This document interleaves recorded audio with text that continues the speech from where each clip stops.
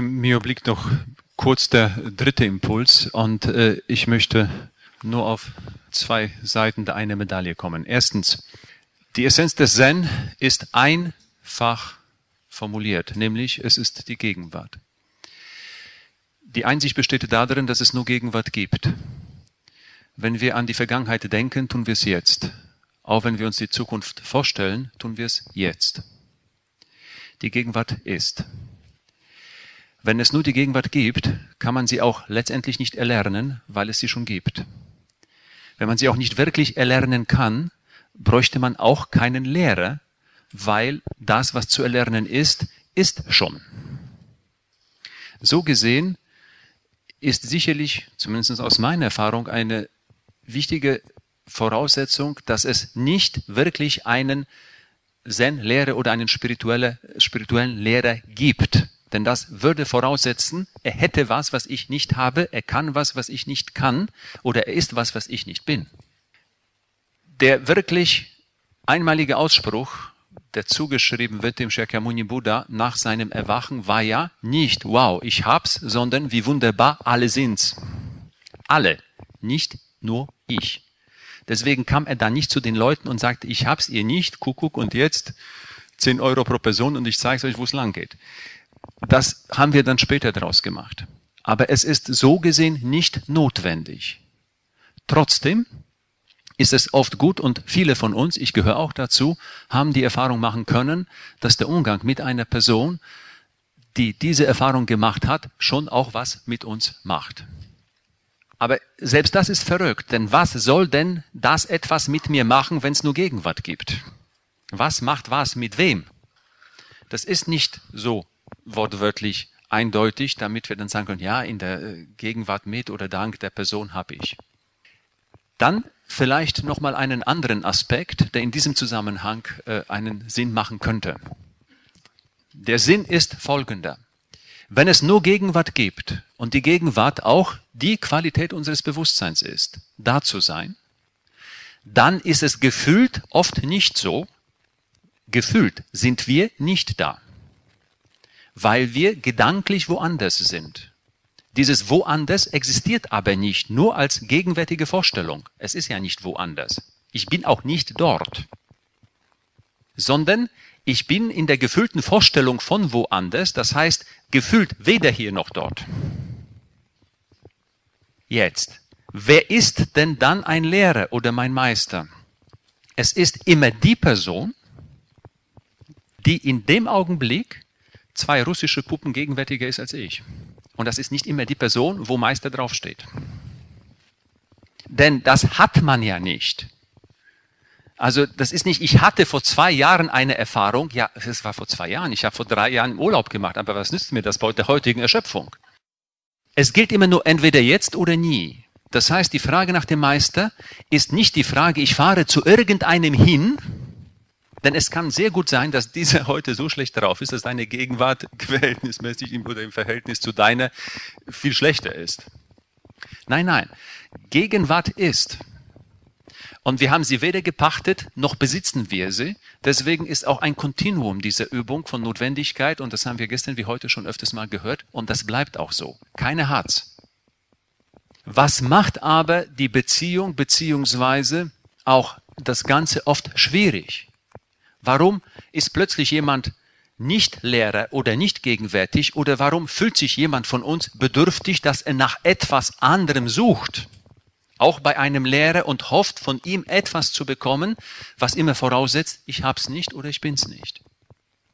Ich wage nur zu erwähnen, dass es vielleicht der Zustand der Angst ist. Angst ist kein Gefühl.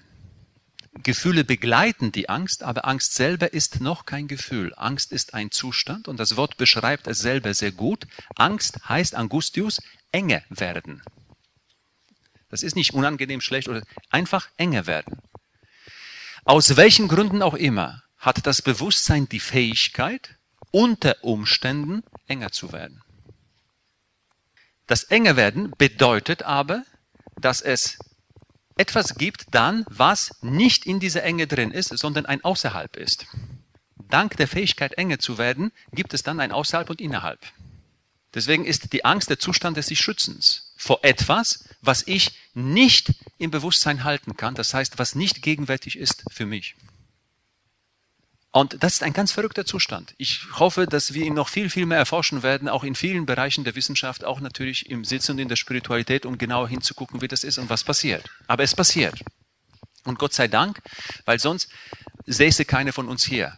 Wenn wir nicht in der Lage wären, uns enger zu machen und das, was sehr schmerzhaft war, in Einführungsstrichen als außerhalb zu betrachten. Nun aber hat dieser Zustand einen verdammt hohen Preis. Und der Preis ist, dass wir diese Enge nicht mehr ganz auflösen und nahezu ständig aufrechterhalten. Das, was wir vielleicht Ich nennen, ist ein Mechanismus, der diese Enge länger als die Umstände es wollen aufrechterhält. So wie Doris vorher sagte, zu weinen, wenn es schmerzhaft ist, ist kein Problem. Aber wir weinen öfters, als es schmerzt. Weil wir uns vieles vorstellen, was noch schmerzen könnte und deswegen heulen wir. Das heißt, wir haben den Zustand des Engeseins perpetuiert. Und dann erscheint uns das Versprechen, es wird toller, besser und so weiter als gut. Und das wird gekoppelt an bestimmte Personen, von denen wir meinen, die haben irgendetwas. Aber auch die sogenannten Lehre sind nicht angstfrei, denn je nach Umstand wird er enger. Und es kann sein, dass wenn er dich sieht, enger wird. Oder umgekehrt. Das alles geschieht.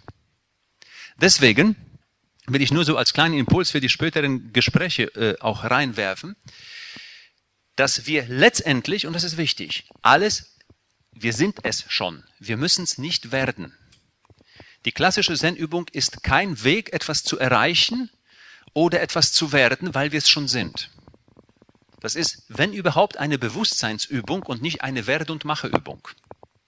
Deswegen ist ein sogenannter Lehrer oder Meister uns nicht voraus. Und wenn er in dem Augenblick nicht gegenwärtiger ist als wir, dann schon gar nicht. Deswegen verlangt auch die Lehrer- und Schülerbeziehung eine sehr große Verantwortung von uns, immer schon.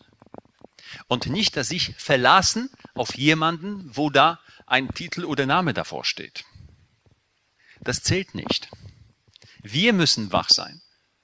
Und wach genug. Und wenn wir wacher sind, dann reicht's schon. Und irgendwann mal können wir uns als diese Wahrheit begegnen, wenn der gesandte, äh, genannte Lehre auch wach ist. Aber das passiert auch nicht immer. Deswegen sind die Beziehungen oft verrückt. Manchmal verrücke ich oder er oder sie. Deswegen die Bitte ist, lass uns Wahrheit üben. Nicht in der Abhängigkeit von einer Person und auch nicht auf sie hin. Denn das funktioniert nicht immer und es führt zu sehr vielen Enttäuschungen, weil das meistens mit Projizierungen was zu tun hat. Wir sind's, wir haben's. Die Enge macht gefühlt davon ein Ich hab's nicht, ich bin's nicht.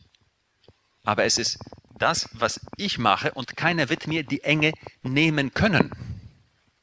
Das geht nicht. Und in dieser Wahrheit besteht die Übung von beiden Seiten mit großer Aufmerksamkeit natürlich. Wenn auch die Lehrer es schaffen, bei einer Begegnung oder im Einzelgespräch wacher zu sein und auch nicht mechanisch etwas zu machen, ist der Raum natürlich, auch wie wir gestern sehr gut gehört haben, er ist spürbar größer. Aber nur deswegen, weil einer ihn verkörpert. In dem Sinne, dass er da nichts reinstellt und vorstellt. Er reagiert nicht auf Vorstellungen, auf Angriffe, auf Wünsche und so weiter und so fort. Es ist nur Dasein. Bis wir vielleicht merken, dass es darum geht, um das So-Sein und nicht anders sein, besser sein, haben wollen und, und, und, und, und. Solange möge die Gegenwart eines Lehrers halten. Eben bisschen länger als unsere. Hält sie, könnte man von Lehrer-Schüler-Beziehung sprechen. Hält sie nicht, ist sie keine. Deswegen wird von jedem von uns, ob wir auch als Eltern unseren Kindern gegenüberstehen, ist alles Lehrer-Schüler-Beziehung. Die verlangt aber von uns eben diese zwei russische Puppen mehr Gegenwart. Dann könnten wir vielleicht uns in dem Augenblick ein bisschen mehr als natürliche Autorität verstehen. Und das habt ihr auch in klassischen bestimmten Betrieben, wo je nach Höhe der Hierarchie Lehrer der Schreibtisch wird. Nicht, weil er nichts mehr zu tun hat, sondern, er, sondern weil die betroffene Person sich nur noch da ist und alles hält. In der Aufmerksamkeit und nicht sich in eine Vereinzelung völlig verliert, um da was rumzufummeln. Es ist die Verkörperung der Gegenwart. Es ist so ähnlich wie der Dirigent eines Orchesters, der deswegen kein konkretes Instrument in diesem Augenblick spielt, weil er die Gegenwart ist für die Entfaltung der Instrumente.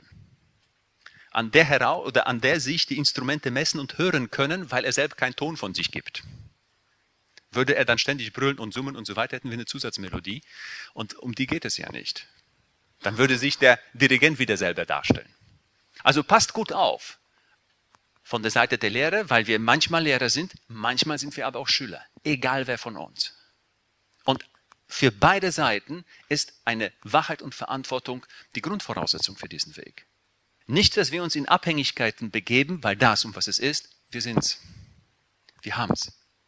Und diese Form der Abhängigkeit und des Bedürfnisses brauchen wir nicht. Und ich hoffe, dass wir auch Lehrern begegnen, die den Mut haben und die Standfestigkeit Festigkeit haben, uns auf uns zurückzuwerfen.